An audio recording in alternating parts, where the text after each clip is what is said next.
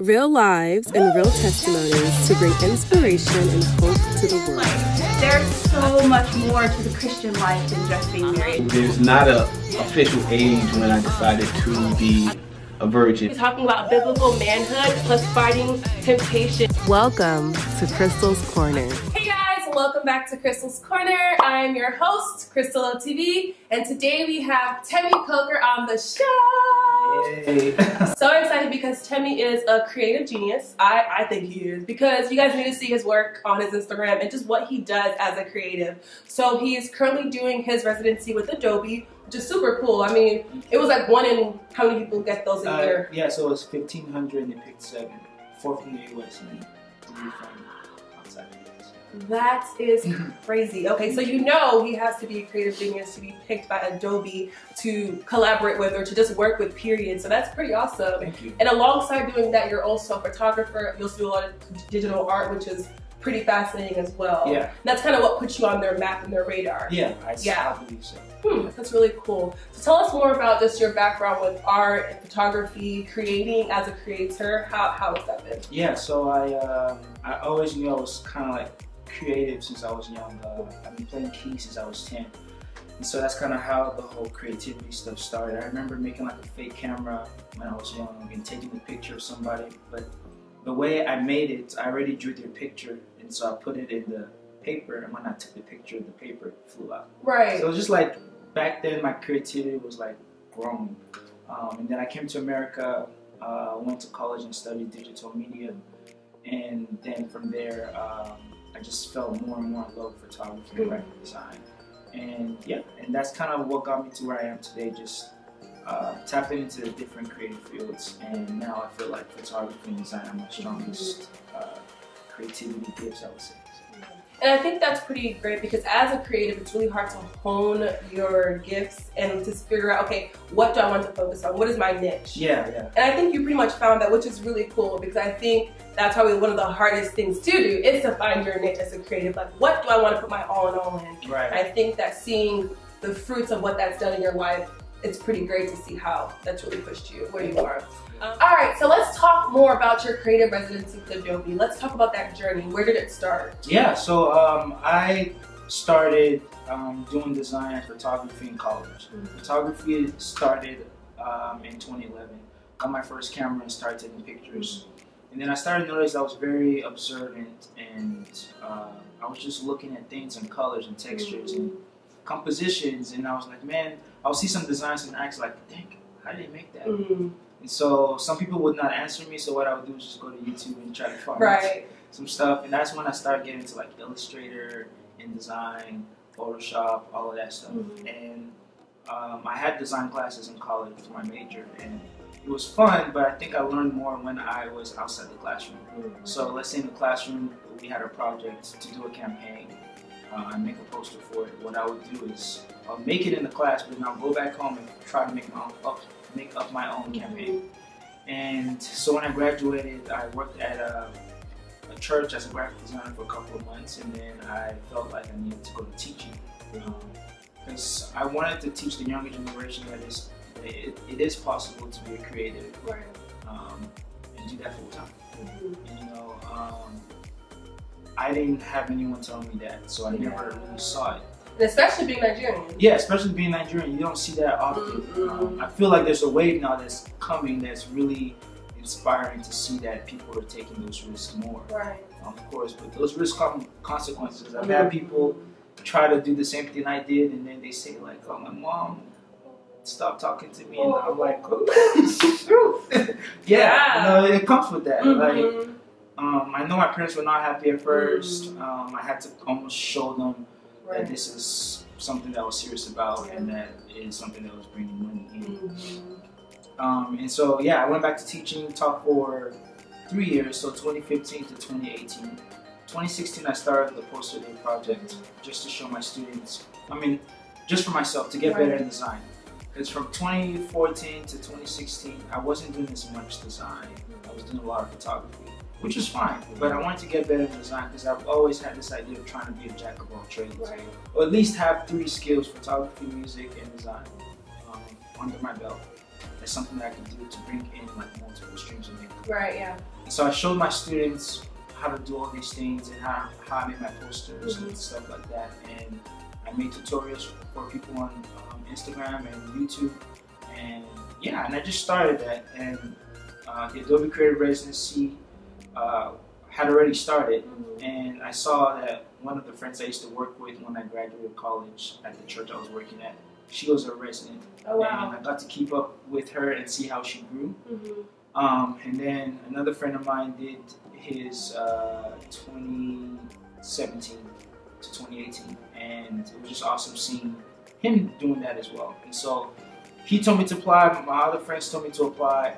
I was like, don't know if I should. I feel like I had this imposter syndrome, like I'm not that good yet. I know some people that are making posters better than I am. Um, what makes me so special, you know? And so uh, my wife was like, just apply. You have nothing to lose. If you don't get it, you can still teach. If you get it, I mean, if, yeah, Yeah. If you get it, you don't teach. Mhm. You, yeah, exactly. Oh wow. And so um, I applied and pressed submit two hours before the deadline, And then you got and it. then I got it. That's good. I know God is good. That's good. Wow. That's so it's like there was a couple of steps. Like I had some, I had to do a phone interview, I had to Right. repitch my idea, oh wow. and they gave me like two days. So I was teaching in class, and I'm like yeah, typing while the kids are working. Yeah, Wow. um, trying to come up with my proposal, and so I sent it to them. Then I got a later interview to fly out. It was just a God thing. And what would you say would be the hardest part about your journey, like Oh, through and through competition. competition? Always com- uh, comparing. Yeah, competition and comparing. Mm-hmm. Comparison. I was comparing myself to other people who had been in the photography or design game for like 10 years. And um, I would just get discouraged and feel like, man, I should know how to do that. I should know how to do more. Um, but I realized, you know, that I am where God wants me to be. Right.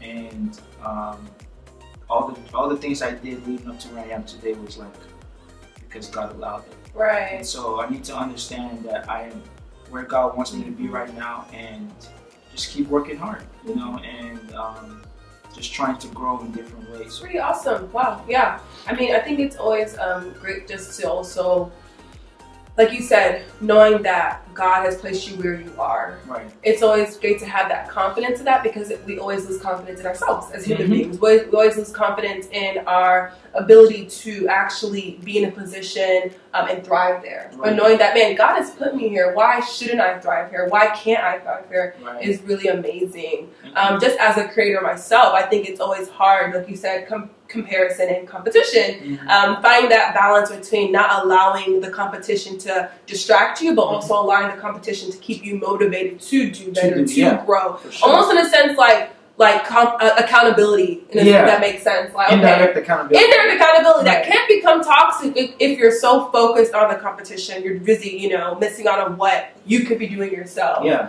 Um, so I think that's pretty, pretty awesome that you were able to kind of push through and see where you are now. You Mhm. know, um, had you given up because of that competition, you may not have felt confident enough to apply for the residency. You may not have felt confident to continue to make your posters, Right. even though you were still learning. It's still a process. So. I think that's pretty amazing. Um, you're also a Christian. How was your faith inspired um, this whole journey? Oh man, it's uh, it's been amazing because I, I think I went to college to study biomedical engineering, Wow. Yeah. um, and it was kind of like I wanted to study music. My parents said no. You must be a Oh, doctor. you know what I'm saying? Doctor. so I picked biomedical engineering. I didn't want to, Mhm. but my parents had to, I Yeah. guess. Um, and what I did was um, I did that for like a year and a half. And I remember one night I was crying because I was just overwhelmed and I wasn't doing well in science classes. Mhm. My GPA was about to fall, and I was like, "No, this. What am I doing?" And it's like I knew what God was calling me to, but I was scared. And so I think that that night I made that decision to switch my major, um, to follow what God had for me. And I think that was the first step to um, me just being obedient and um, listening to God and following what He wants me to do. And I think that's kind of what got me because people called me and told me like it's not God's will for you to switch your major and all of this stuff. And um, if I didn't have my uh, strong faith in that in that in that time, I probably would have like said, "Oh, you know what? I'm just gonna stick with American engineering." Um, and so yeah, and I, I didn't know where I would be. Like I didn't think I would be here today. I was just I just knew that I didn't want to live a life um, for other people. Yeah. I wanted to live the life that God had for me. Yeah. You know? That's good. And sometimes that requires that uh, it requires you to make some people mad. Mm-hmm. You know, and to me that's fine as long as God is happy. That's all Right. that really matters. Yeah. Um, and so that's yeah, that's kind of like how things started for me. And um, time and time again, God just showed that He was just faithful. Yeah. Um, and I was just obedient um, to the opportunities that came my way and the gifts that God has given me. And I was, I, I think, like what I tell people is like, just be faithful with your gift and let God do the rest Yeah. right? And the rest doesn't mean like, oh, God is going to give you three million dollars or three million dollar gig or whatever. It just means that you be more, you feel more fulfilled. Like for me, Adobe is amazing. I love the opportunity, and I love that they've allowed me to be able to um, use my desire to teach other people um, during the residency, because that's where I get my joy from Mm-hmm. right? So as much as I make my posters and stuff like that, I find joy in helping other people learn um, their skills better and um, allow them to like make stuff for themselves. Yeah. You know, because I think as a creative, that should be our job. Mhm. You know, so I don't like hiding my process. I like showing it Right. Yeah. um, because at, the end of the day, no one can create what I create exactly. because they're not me. that confidence that you have in your your craft, though, Right. Which is yeah, which is unique. Yeah. Right, and it's a confidence that you know I felt like I had I, I had to get from all the stuff I've gone through. Right. Right, because I I had like low days Mhm. and I had some high days, Yeah. and so it's just knowing that God has given me this gift of teaching and this gift of creativity, and now my goal is how can I use the gift God has given me to serve others Right. right? And um, at the end of the day, I just want, like, if I pass away, I want people to know that Temi Coker served people with the, his God-given talents. Right. Right. That's it. That's it. Like, That's it. not that Temi Coker worked with Nike or Right. Adobe or Yeah. Like, for me, the biggest thing is Temi um, used his gift well. He was obedient and he served Mhm. others. Like, yeah. that brings me joy knowing that that's Yeah. what that's what's gonna happen. So. That's awesome. Yeah, and I think um, there's so many young Christian creatives out there who are just looking for examples, looking for people who are living their lives um, on purpose, with purpose, um, as a creative. And I think that this is so helpful for them. Um, what's one word you would give to them that could encourage them or motivate them to just stay focused on what God has called them to do as a creative? What's one word you would think Ooh. that you could think of? I would say um, consistency. I think consistency brings growth. I think we get very comfortable where we're at. Um, and for me, once I start to feel comfortable, I try to push myself. Mhm. I want, like with my poster day stuff, once it starts getting very easy, I try to find something else that I can learn. Right. I mean, last night, I was up till like 4.30 Oh wow. just learning like I downloaded a new software, Cinema 4D, and I just got immersed in it. and I was just I was just trying to learn what I could and try different things because I was just like I haven't mastered Photoshop, but my style is already there and I know how to do it easy. Know how to make a poster in like 10 minutes Oh, wow. or less. And so it's like Cinema 4D pushed me. Mhm. And so like the poster I made today was like a poster, but it's a video. Mhm. And so the stuff is moving. I made up that in Cinema 4D. So Oh, it's just that that whole like pushing and consistency and trying to um, create it as much as you can. Um, and another thing is like don't wait for the job to come. Create the type of job you want to be hired for. That's good. That's a word. That's, That's, a whole word. that's like that's like my bottom of life. you That's know? a, no, but that's real. That is so real. And like you're speaking to me, but that's really real. Um, Right.